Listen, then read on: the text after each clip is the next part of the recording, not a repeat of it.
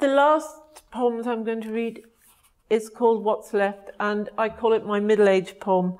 Um, it's about the moment when you wake up and you realize there's not going to be time to do all the things you thought there was going to be time to do. And um, it's dedicated to Peter Hennessy, who is a neighbour and friend of mine and a fellow gardener. What's left? I used to wait for the flowers, my pleasure reposed on them. Now I like plants before they get to the blossom.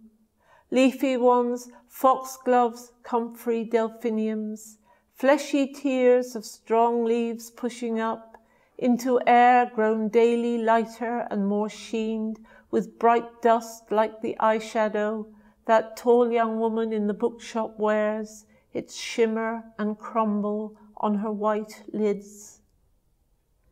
The washing moves on the line, the sparrows pull at the heaps of drying weeds that I've left around.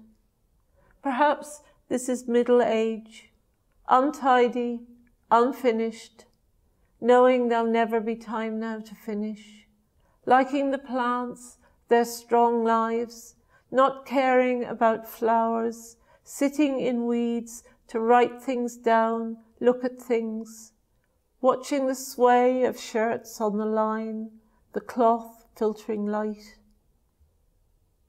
I know more or less how to live through my life now, but I want to know how to live what's left with my eyes open and my hands open.